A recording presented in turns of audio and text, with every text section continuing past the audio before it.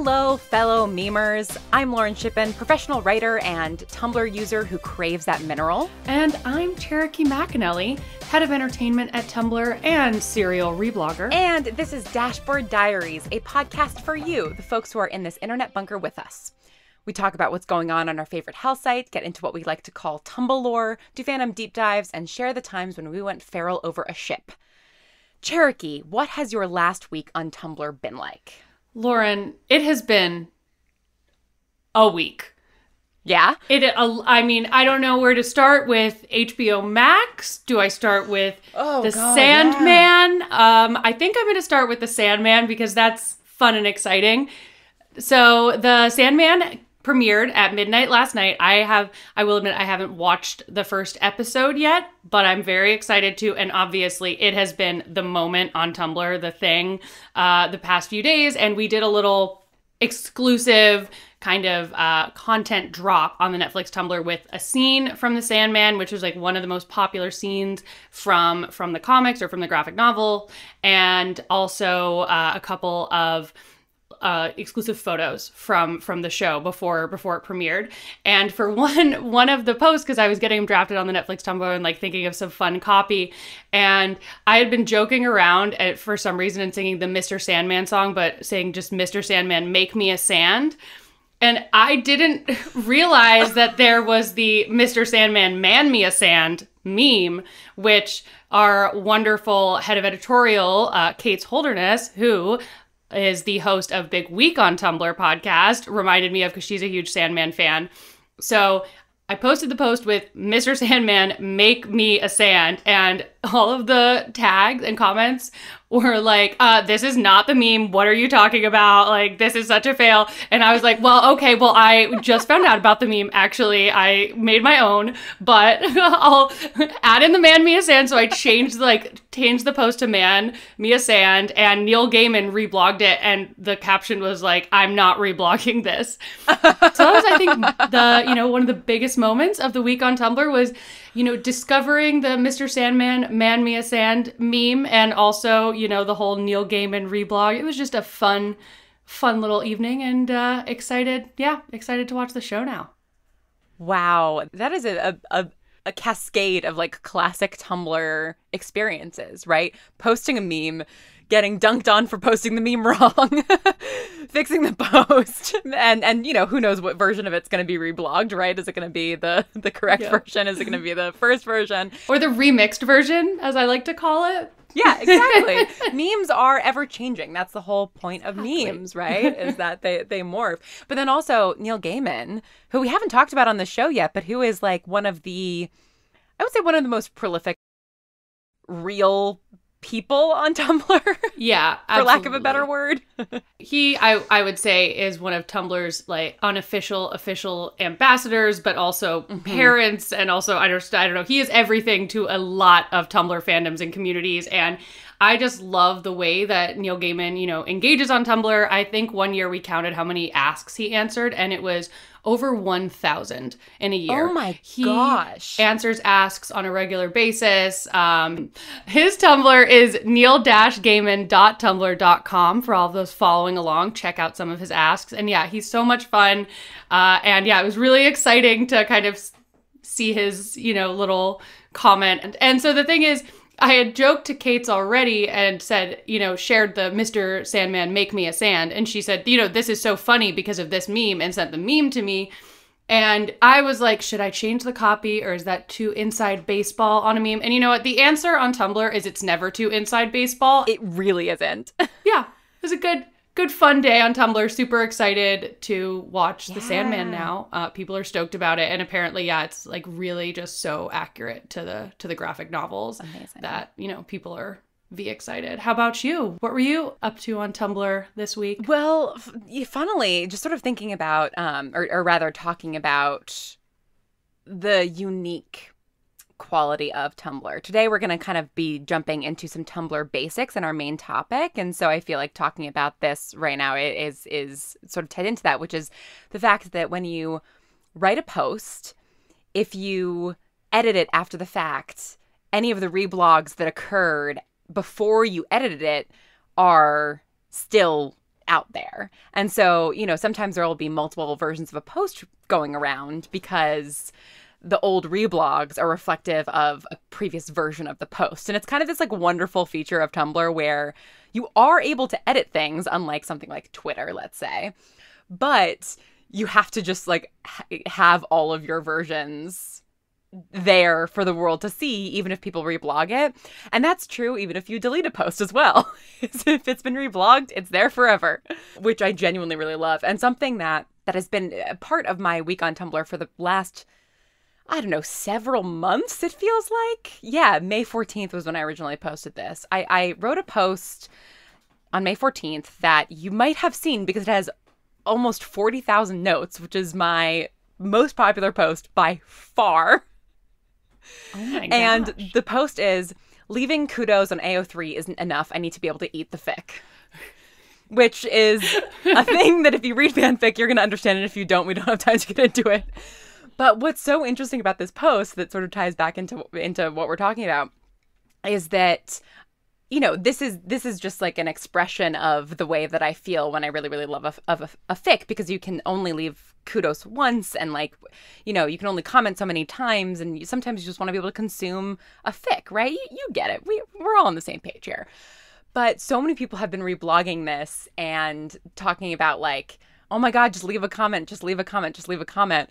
Despite the fact that like almost instantly after i posted this post i reblogged my own post with the addendum of like just before anybody says anything like i am leaving comments. That's not what this is about. Like i do leave comments that basically say this on fics and it just of course that's the version that like is not getting passed around right? And so i think that that's that's a very interesting example of how like when you post something and it goes viral for whatever reason it just is out there without context or without you know your edits or whatever it is. And um, i think that that's i think that's kind of fun that adds into the chaotic energy of tumblr I yeah, could not agree more. I think I think it's really beautiful that yeah, you're uh you can update, you can fix your mistakes, but they still exist. How uh Yeah, how yeah. relevant to the real world, you know? But on our special little there's a history of everything. I'm going too deep with this, Lauren. I think you should stop me. I've gone full No, zen. I love it.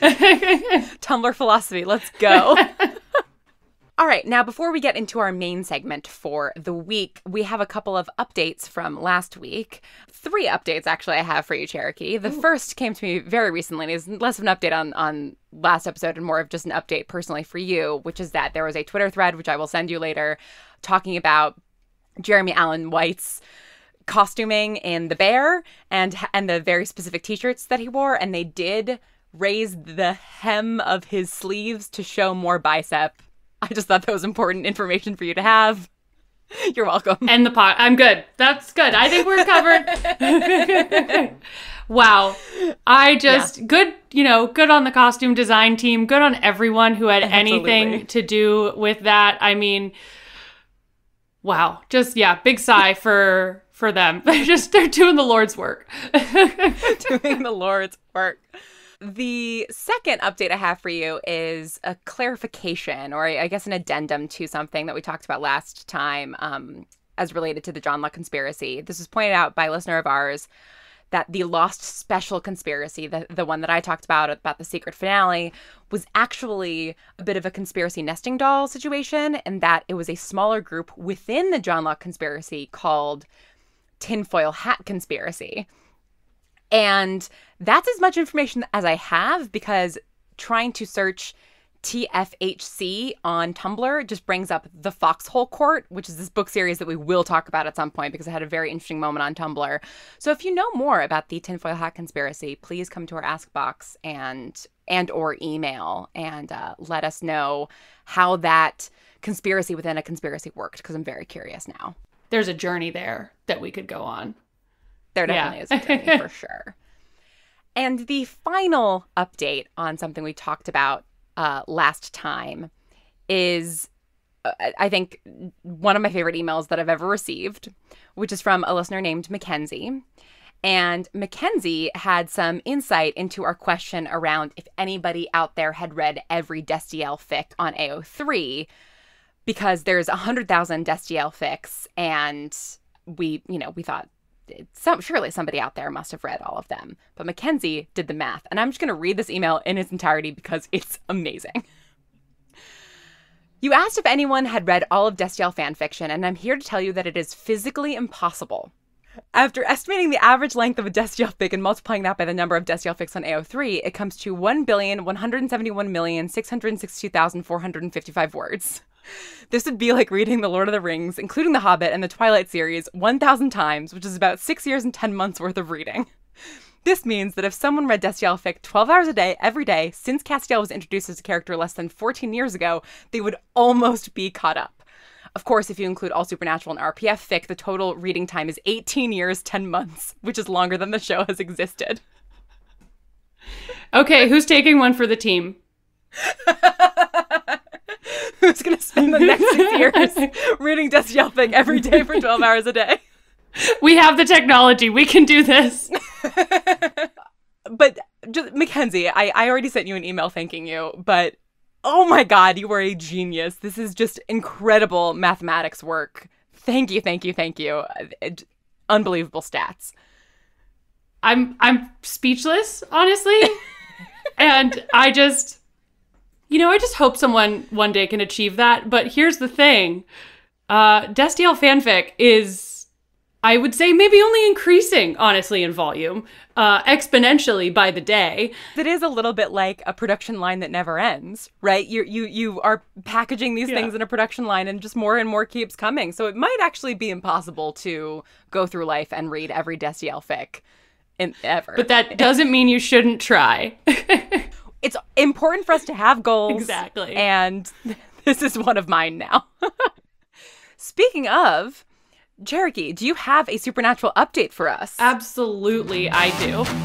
Uh, so I watched season one, episode two on my journey of uh, watching all of Supernatural. Maybe by the time I finish the 15th season of Supernatural, someone listening will have read every supernatural fic. It is now a race. Let's go. This episode, uh, Wendigo, believe it was it was mm-hmm. called. Um, so I just kind of once again bulleted out my thoughts.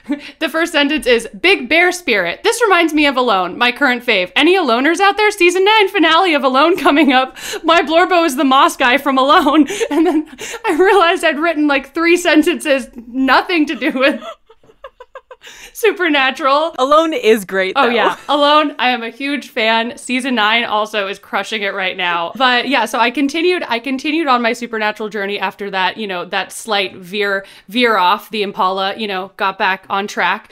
And I uh, my next thing that I wrote was like, oh, they're so young. I feel like I've seen Dean and Sam grow up on Tumblr just by scrolling throughout the years. So, you know, that was my next thought. And then for some reason I wrote, this demon's name is George, vibe wise. Um, what does that mean? I'm unsure. Uh, the demon, I don't know if you watched Midnight Mass. Oh, yeah. Uh, but the demon from Midnight Mass really looked like the demon from this episode. And for some reason, I was just like watching, like, the, de- like, they see the demon near the end of the episode after, like, not really knowing what it looks like. And for some reason, my brain was like, hmm, George. So I do think from now on I will also be naming the demons in each episode, just vibe wise. Okay, a funny, a funny, uh, like cross fandom thing that you created without even knowing it is that in the CBS slash Paramount Plus TV show Evil, which is phenomenal, there is a demon named George. What? Yeah. Oh my gosh, so so tied into fandom that you know even without knowing is this web weaving is that what's happening right now sure Finally, I said, When does Cas arrive? And my final bullet point is really unsure how I never realized that the Impala was black. Beige bee is something that's going to stay with me forever. Beigeby haunts my dream. Beigeby is my sleep paralysis demon, along with now George. Who is in Evil one of the characters' sleep paralysis demons. No! Oh my gosh. I, I have to send he's a sleep paralysis demon slash like narrator for the first season or so. It's a very goofy, weird, scary, sexy show that I that Sold. like defies description. Um and I will I will send you I'll, I will try to find a gift set of of George and send it to you because he's a delight. All right, and our main topic today is Tumblr terms because we realized this is our third episode and for most of you listening so far, I think uh, most of you are Tumblr users, but we don't want to be exclusionary to people who don't don't use Tumblr, and so we thought it might be good to dive into some basic Tumblr terms and define them for each other, see if we have the same definitions for some of these, and and give those of you out there who are not as familiar with Tumblr culture a, a, rundown of the the terms and ideas that you need to know in order to find your way through this this crazy little hell site of ours. Also, I came up with a punny name for the segment, folks. the Fan Dictionary. I like it. I like it. The the first letter A is for aesthetic. So, aesthetics, I'm sure you've heard this word outside of Tumblr. Of course, it is not a Tumblr specific word, but aesthetics are a very big kind of popular I don't know, I would say theme on Tumblr. They're essentially like the vibe of a certain, like a given space. Like cottagecore is the esthetic mm-hmm. that you would be most familiar with, and cottagecore is very much like the kind of aesthetic or look and feel uh, or kind of overall vibe of being in a cottage. So you're standing in the middle of a field with, you know, flowers and Edward Cullen, cottage core, and also vampire core. There's there can be multiple cores per core, and it's also uh, a big part of aesthetics that I have noticed is it's not just like the overall vibe, but it's kind of like entering into like what it would be like to you know enter or be in that space. Like goblin core is like oh i want to be like under this mushroom eating a handful of moss Hashtag goblin core. You can basically add core onto any word and have an aesthetic. That's basically how it works. Goblin core, vampire core, Cherokee core, Lauren core. There's core core even. I've never heard of core core. What is core core? Core core is the aesthetic of aesthetic. We might need a whole episode on that alone. A, a, a term that we've been using a lot in the show so far that is relatively new to Tumblr terminology, to this fan dictionary, is Blorbo. And we will reblog the original post from whence Blorbo comes. Um, but basically, a Blorbo is just a, a, favorite beloved character. And actually, funnily enough, I have a tag on my personal Tumblr that's Blorbo Core, where I just like reblog posts that are like vague themes around characters that I love. and that's my Blorbo core. And Dashboard is the the whole the Tumblr homepage, which we all know and love and scroll through and you can have it chrono. That's I believe the default. We stay chrono folks on Tumblr. Oh yeah. You can set it to kind of most, you know, you know, popular posts first. Now here's a question. Do you are well, two questions actually. With your dashboard scrolling, are you a mobile user or a desktop user? It really depends. I started on Tumblr as a desktop user. I was more often than not scrolling while I was uh, in class in college, as one does. But you know, Tumblr University, folks, it's a thing. we all attended it. Oh, yeah.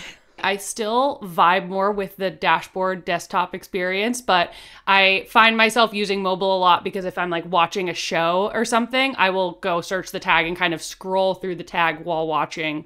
How about you, Lauren? I mean, I'm pretty much the same. I'm I am uh, through and through a desktop user.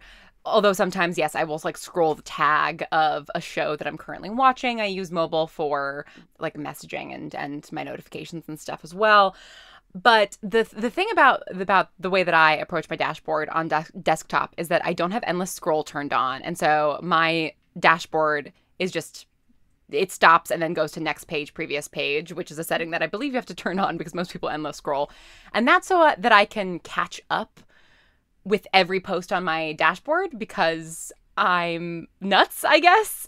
Um, so currently, I think I am looking at my dash. I've been looking at my dashboard from um, July 29th. So I'm not so, so far behind, but I literally just keep the tab open until I'm caught up on the last post that I saw and I'm usually like a week behind.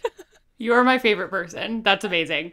And that's also how I, when I first started using Tumblr, that's how I used it. And now I just follow so many blogs. But I, it was honestly, it's so much fun to get to that most recent post and be like, yes, I have seen, I have seen, seen every meme. Up next, we have OP, which is original poster I believe, and that is uh, the one who posted something first, which, as we were chatting about earlier, how posts can be edited and changed around, often an important uh, important part of things on on this lovely hell site we call Tumblr. OTP, totally different. uh, more of a, a ship and fanfic thing. Um, it stands for one true pairing. It's basically your your ship to end all ships. There's also BroTP, which is an OTP but platonically, and OT3, which is a one true pairing, but it's not a pairing; it's three people.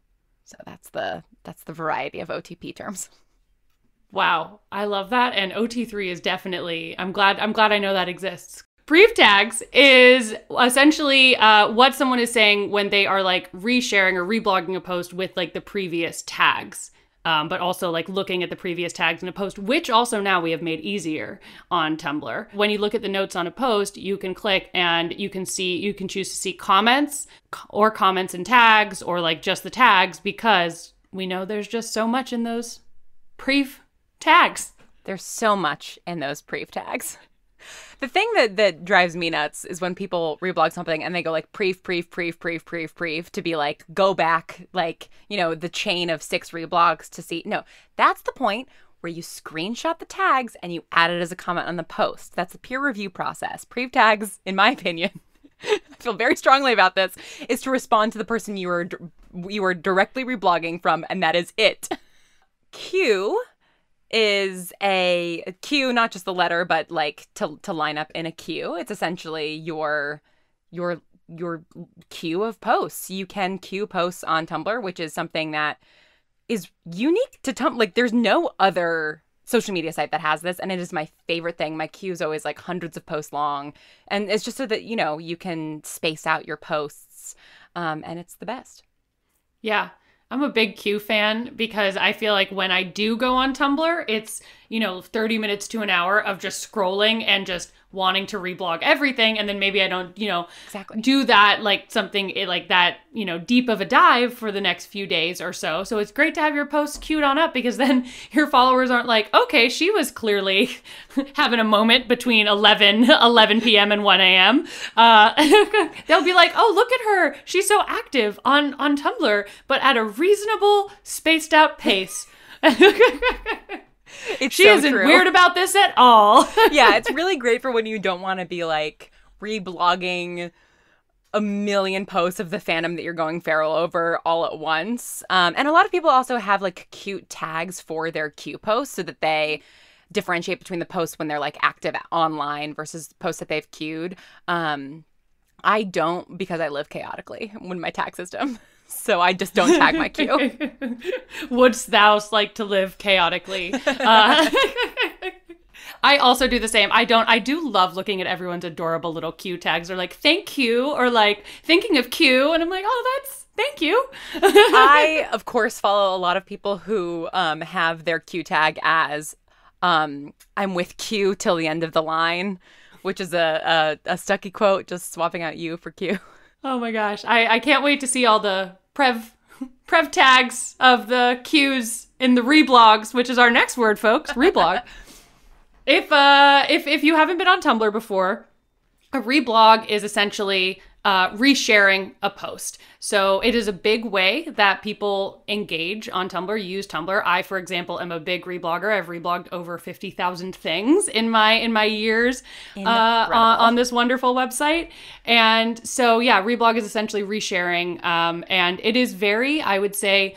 Uh, gratuitously used. You know, no, you know, it's not. You know, people will reblog twenty or thirty things or queue them up, uh, and uh, yeah, it's definitely like people people share will reblog a lot of things. It's not like ever so often. Uh, well it is for some people you know some people are lighter rebloggers so i don't want to yeah. uh, project my my reblog style on, on everyone. Well i'm curious have you seen the discourse on tumblr around the reblogs versus likes that has been happening recently? I don't think so. So this has crossed my dash from a couple different sources and in a in a couple of different ways which is essentially that Tumblr has been getting a new influx of users, right? Which is amazing. We are so happy that, that more people are joining this website. I say that like I work for Tumblr. I'm just happy that more people are using this website. I don't work for Tumblr.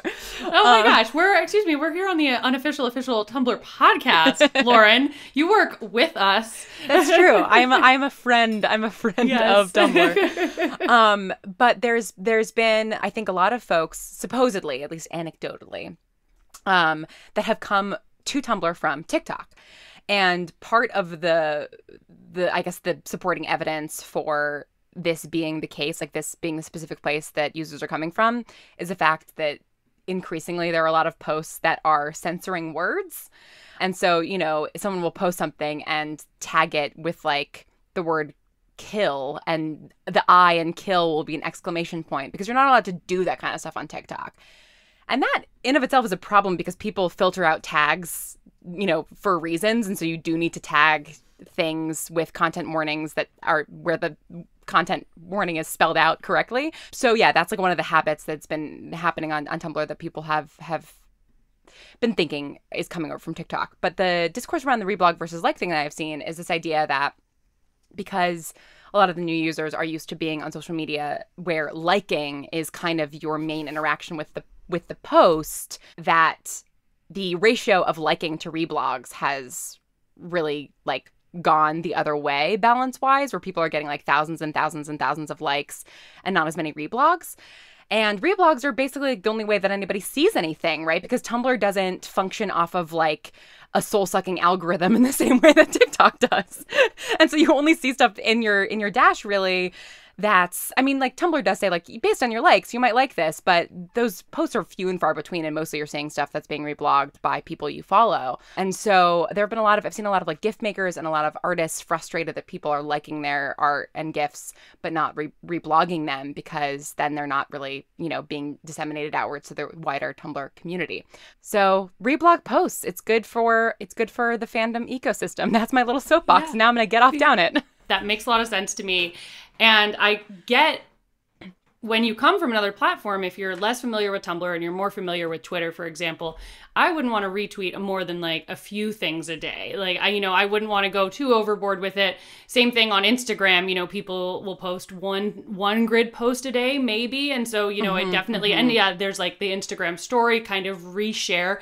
A smaller posting volume is a lot more common on other social platforms. And I think on Tumblr, it's really common and, you know, a big part of the platform mm-hmm. to have a higher volume of like reblogs if not you know the things that that you're posting yourselves um like curators are such a curators on tumblr is one of the biggest communities on the platform people curating all of these things. And actually, one of the things I say when people, when I'm working with partners or, you know, someone's joining Tumblr and they say, What's your advice? How should I post? You know, what kind of content will do the best? Blah, blah, blah. I say, if it is something that you would want to reblog and share onto your own Tumblr, then it is something you should post. Mm. I have been noticing that because I always do check like the the proportion of likes to reblogs, and it really kind of clicks into place. Um, so yeah, folks on Tumblr, reblog away. If if someone who follows you sees that you reblogged hundred things, you know what they're gonna think? Great. That is amazing. I'm so excited to see that this person shared 100 things that I could read. You know, like that is the joy of Tumblr. Even like, as Lauren was saying earlier, as you're saying earlier, you like to see every single post that has, you know, come across your dashboard to the point where you'll, you know, go back for, you know, over a week and get behind just to make sure you've seen everything. And I feel like that is just a really special way that people engage on Tumblr uh, and yeah, we are the home of the reblogs. That's what our our like tips blog, Hellside High says. It, we set it up like a little, you know, one of those signs outside of a high school, and it says "Home of the reblog. Yeah, well, and like something that that happens a lot to me, and and I think happens to a lot of people who are sort of within fandom communities, is that like you'll reblog something, all of your mutuals from that fandom community will also reblog it, and so you are seeing like the same gift set a hundred times on your dashboard. But what's fun is that you get to see the way people tag it, what they say in the tags. You get to see the way all your mutuals react. It really is. Oh, I'm just getting so, such warm and fuzzy feelings about Tumblr because it's just so great. I I absolutely am too. Like it's it feels like yeah, everyone's kind of having this like asynchronous conversation with each other about 100 different topics, but all at the same time. Yes. Our next Tumblr term is shoelaces. Um, this is something we've said on on this podcast a couple of times. It's something that's referenced in our podcast description and in our uh, show art, and also it's the code for some of our affiliate sponsors because shoelaces is essentially one of Tumblr's oldest and most prolific in jokes, I would say. So basically, back in a particular sort of Tumblr heyday of sort of, I would say like the sort of the super Wholock heyday of 2011 to 2014, kind of that, that whole time, someone posted um, if if I see any of you in public, the code to recognize, you know, a Tumblr person out in the wild is I like your shoelaces. And Cherokee, if I were to say to you, I like your shoelaces, what would you respond with? Thanks. I stole them from the president. And that's how you know that you're talking to somebody who's in the know on Tumblr. and it's now become it kind of this post has gone through a couple of different responses i guess on on tumblr. Like when it was initially posted it was received very very earnestly um it, because this was sort of peak like earnest cringe tumblr and i don't mean that in a negative way. And then after dashcon which is a thing we will talk about there was sort of this i guess judgment of posts like that and, and the cringiness of them. And now i think it's kind of come back around where we recognize that it's cringe but I am cringe and I am free, right? Like being cringy is not necessarily bad. Um, and now it's sort of, I think, back to being earnestly beloved and kind of like, oh, remember those times way. So yeah, the, Yeah. the password is shoelaces. I crave that cringe. I crave that cringe. Yes. Okay, so up next we have ships and shipping. So this is if we've talked about you know this term probably multiple times in this episode, definitely already multiple times uh, in the few episodes we've done.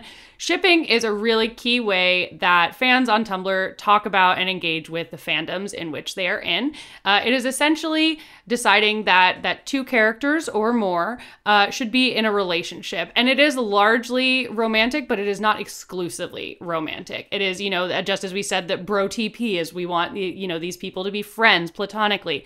So shipping the most uh, famous ship uh, that we definitely have said quite a few times this episode even is uh, Destiel, Dean and Castiel from Supernatural. And so, of course, you know, it's usually and most often a combination of of the characters or people's names, but not always. You know, there's there's a good there's a good mix. So, yeah, anything else you want to add? I was gonna ask if you knew the origins of this of this term. Relation shipping is kind of like my assumption. So you're absolutely right. It was from relationshipping, right? That's obviously where the where the term comes from. But it was specifically the X Files fandom in the '90s about Mulder and Scully. And shipping, obviously, as a practice within fandom, goes back, you know, much further. I think probably the the big biggest example that's pointed to in shipping culture as kind of a proto ship, I guess, before the word shipping was even in common parlance, was Spock and Kirk from Star Trek back in the 70s. And I think that that's essentially where the term slash comes from character slash character, you know, Kirk slash Spock. Oh my gosh. I what a like key piece of internet lore that I just learned. Thank you very much for that. And that is I just love that it happened with the X-Files, not just because I mean Mulder and Scully Ultimate ship. soulmates. Yeah. You know, ultimate ship, but also the X Files, Mulder X Scully, Mulder X Reader, Scully X Reader. I mean, there's That just a lot of So galaxy brained of you. thank you very much. our, our last dictionary term is shitpost, which is a term that's also used um, in lots of other places on the internet, but it's still heavily in use on Tumblr. And and Cherokee, correct me if I'm if my definition of this is off, but it's basically like a somewhat like chaotic, goofy, maybe meme based, maybe like slightly trolling post. So it's not necessarily meant in any kind of earnest seriousness. It's usually um, relying on some sort of like chaotic energy or like random humor. Um, this also used to be called uh, night blogging. And that that that is uh, our fan dictionary. Um, and now we're gonna do a slight addition to the fan dictionary, which is we both Cherokee and I brought some terms for each other that we thought maybe the other person wouldn't know, and we're going to try and quiz each other on those definitions. I'm gonna I'm gonna start actually because I've got a little bit of a a, a slight quiz for you, I guess. I'm excited. Very minor quiz. Let's do it. So, which of these is a term for a beloved character? So, like a, a, a, ter- a term a la Blorbo, right? Okay, there's three terms. Which is the correct term for a beloved character? Glup Shitto, Scrimblo Blimblo, or Pooch Magoo? I think it's Glup Shitto. It is not. So, Glup Shitto is a real thing. Okay, so out of these three terms, Pooch Magoo is one that I made up 10 before 10 minutes I, I before. was like, I was like, Pooch Magoo. Sounds like a cartoon dog. I was like trying to think of like, you know, something Oh in this God. genre of name, and unfortunately, all of the other combinations of letters Tumblr has already achieved. So, Glup Shitto was one of the words that actually was going to bring to you to see if you knew or not, because this is a real Tumblr term. I thought like I know of it, a beloved but like imperfect. I feel like is a really nice way of saying it. Kind of character, like it's like they're kind of like a like a shithead essentially, but you love them anyway. Honestly, it could have it could have transformed into that. So there's like this whole genre of uh scrimblo, blimbo terms like scrungly, scrunkly, sc- scrumbly, blumbly. Like there's just like Scrunkly was one of the ones on my list, by the way. incredible. So Scrimblo Blim- Blimbo is beloved character, um, and it's a, a term that I saw that's sort of related to the scrunkly thing. So yeah, give me that definition of scrunkly. So a uh, and this is from yeah, Yugsley, Yugsley.tumblr.com. Excellent. And uh, the someone submitted a question, ask, and said, "What is a scrunkly? Please, I keep seeing it everywhere, and now you're using it too." And uh, our friend Yugsley said, "Yes, I have been trying to be hip with the internet slangs lately. Uh, a scrunkly is just a character you care deeply for, someone you find cute in a funny way, especially when they're little or funky looking. Just a scrinkly scrunkly." Just a scrunkly scrunkly. So, Just a so Scrimblo Blimbo is is sort of the the I guess cousin of that. And uh, Glup Shitto is actually just from a, a post of someone saying, anytime Star Wars fans get excited about something, a new character, that that character's always named something like Glup Shitto. Just a little scrinkly scrunkly scrimblo blimblo glepshido. You know, just as one does. Exactly, exactly, exactly. All right, hit me with another term. Okay. So I have four terms for you. Okay. And the first one is it's it's a phrase, but I don't know if you will have heard it before. So I would love to know if you've heard it, what you think of it. And also one of the four phrases I'm going to give you or like words or phrases that I'm going to give you is fake. Ooh, okay. So this one is blorbo from my notes. Presumably, that is referring to somebody who reblogged something of yours or applied to something of yours, and it is the like person in your notes, like in your notifications, that you're responding to. Uh, so I saw, I think it's kind of like that. I think it Okay. absolutely can be that. I saw like a post about it, and then I looked up, I looked up the tag and saw that a lot of people were using it. And essentially, the way that this like person framed it in their post, let's let's you know give it up for the people who you see reblogging all your stuff. They might not be replying to it or like directly talking to you, but you know they're always they're always reblogging or liking your stuff. They're the blorbo from your notes. So I will I will throw another one at you. This is another recent one, which is Eeby Deeby. So Eeby Deeby is funny because I also had E Eeby Deeby on on my on my list for you. Nice. It is essentially like a, like the sound a robot makes. So that's kind of how it started. Was like people were saying like E Eeby Deeby, and now it's just kind of like a tag for like the sound you're making associated with a post. So I think that that is one definition because it does come from this comic panel of a robot saying Eeby Deeby or something. Yeah. This original. This is another post I'll have to find.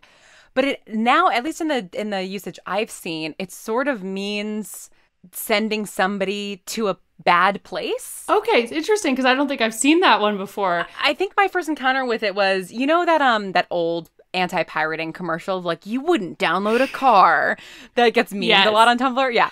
So somebody did that and said, You wouldn't Eeby Deeby a Blorbo. and somebody else responded with like, I totally get what you're saying, but they did in fact send Castiel to super hell. and it's like it's this idea of like you Eeby Deeby somebody and you send them to hell or somewhere else. All right, the next one is Tagamemnon. I really want this to be real, but I don't think it is. Lauren? It absolutely is. it is a tag commonly used to post about ancient Greek and Roman memes specifically, or like Ro- ancient Greek and Rona- Roman like culture. Agamemnon. That is incredible. I'm obsessed with that. All right, my final term is a throwback that you may or may not be familiar with. I think there's a there's a sort of a 60-40 shot here. Kin or kinning. You know when your brain is like, you know this and you need an example of it, but I cuz I like feel like people often say they're like vampire kin or like related to, like they feel like they're part of a community or a thing or they kin the fairy kind of communities kin or of relation to a community or space in or outside of fandom? That i mean that yeah that's that's basically it yeah.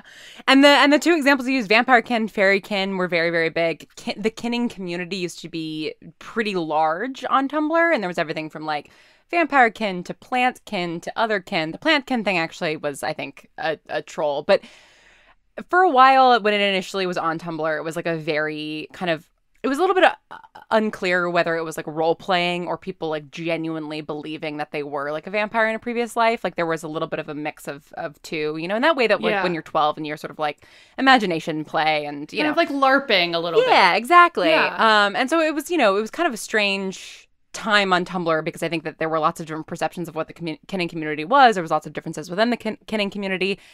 Now I see it used much more frequently to basically say like I relate to that character. Like, oh, I totally Oh, kin, yeah.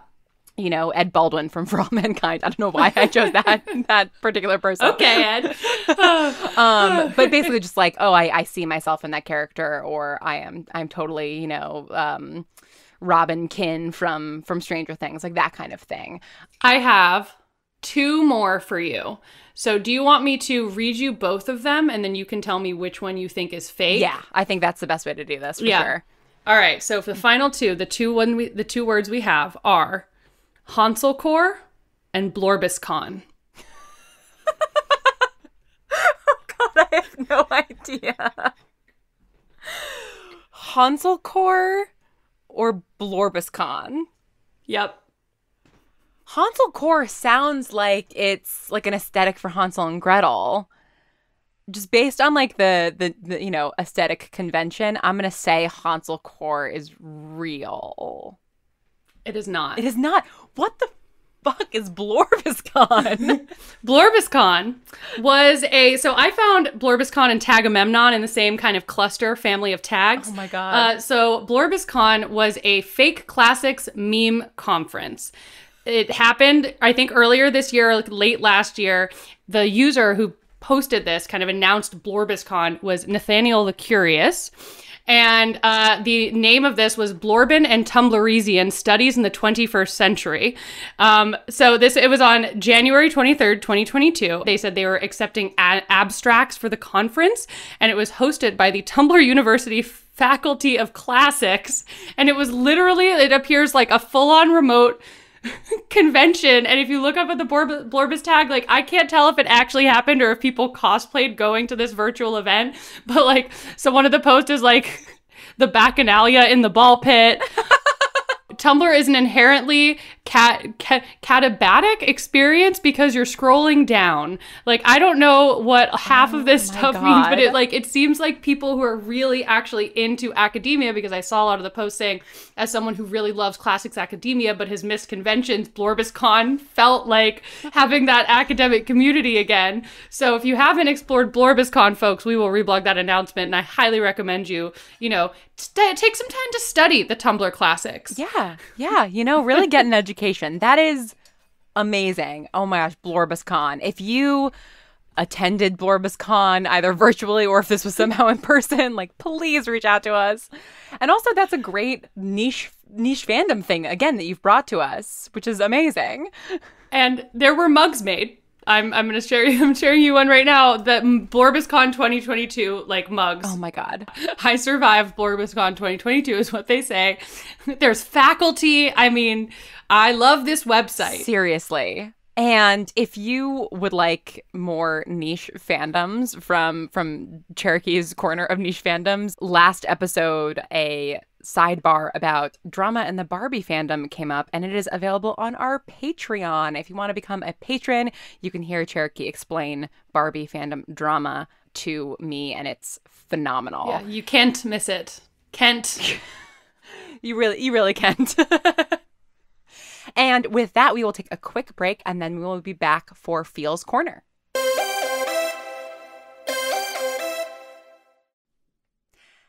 Hello, Hellsiders. It's me again. Thank you so much for listening to Dashboard Diaries. If you want to know more about the show, see the posts we're talking about in the episode, or get transcripts, be sure to check out dashboarddiaries.tumblr.com. We're also on Twitter at Dash Diaries Pod if, like us, you're on all the social media. We're a small team right now. Our art is by the amazing Shae McMullin, transcripts by Laudable, editing and music by me, and the wonderful Brandon Grugle mixed and mastered our theme to really make it shine. But we have so many hopes for the future. So if you want to support the show, get ad-free episodes, get bonus clips, etc., go check out patreon.com slash dashboard diaries. Or support us by giving us five stars on Apple Podcasts and Spotify and telling your friends to listen. And now for a word from our sponsor.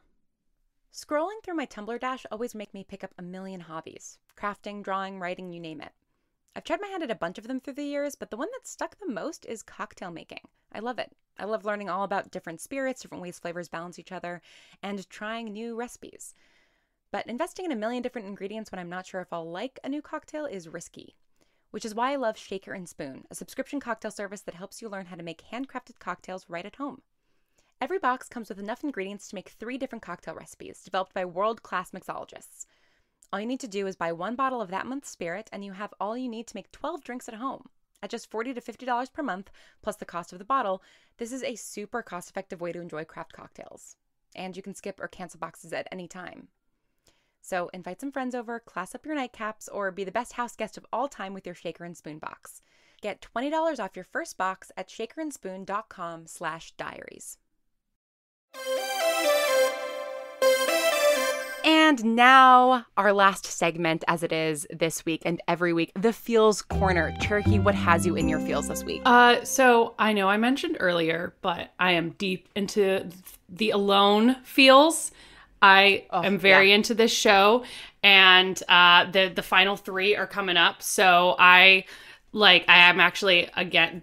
I want to make sure I know I I've been calling him Moss Guy, which is so my my feels this week is Moss Guy, who is a guy who is in the final three of Alone season nine, and one of his main food groups has been like potfuls of moss and i just i really uh i really respect that uh that dedication Incredible. the, the moss guy on season 9 of alone is definitely in my fields this week. And i actually started watching paper girls which just came out this week too. I watched a few Oh. episodes this week uh, and i'm really enjoying it. And so the plot of paper girls it's a new prime video show and essentially the plot of it is there's like four girls in 1988 um, they're around 12 and they're out on their paper route and some you know insane time traveling intergalactic war happens as one does and they get transported to 2019 and like run into their current selves and have to that team up with their current selves to stop the end of the world uh it's That's really awesome. entertaining and i'm very much enjoying it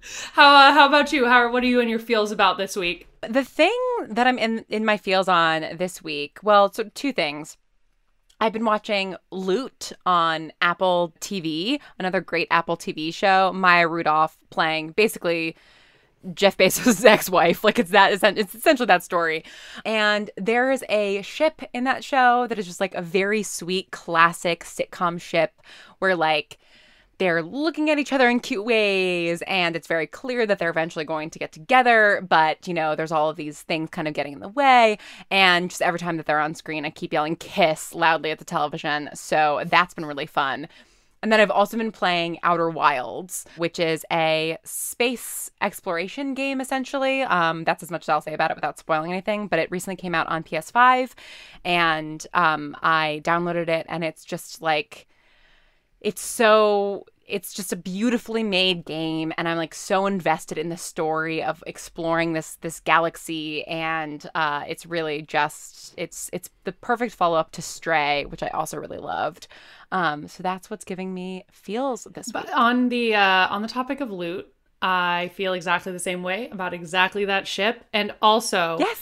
there. What a beautiful bro TP, uh, in Oh, in loot as well. I just I love. I'm now the names of the characters are escaping me, but I can say that it's uh, no spoilers. But there is just a beautiful friendship on this show that is so tender and so like I don't know. They're learning each other's boundaries and learning how to relate to each other, and it's just really beautiful and sweet, and just you know warms warms your heart to see.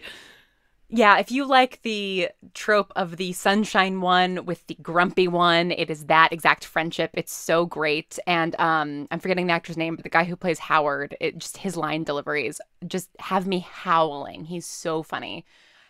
And if you have feels, um, please send them to us in a voice memo of 30 seconds or less to dashboarddiariespod at gmail.com and stick around to the end of the show for one of our listeners' feels this week.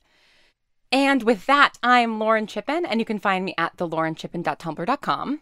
And I'm Cherokee McAnelly. You can find me at chero.tumblr.com. And this has been Dashboard Diaries. And may your nons always be loving, your dash always refreshed, your gifts always be loading, and your ships always canon. May the fixer reading always be finished, and the answers you seek always in the reblogs. Thanks for scrolling with us. Hello, greetings from Germany. My name is Pia and I am currently obsessed with the third campaign of Critical Role.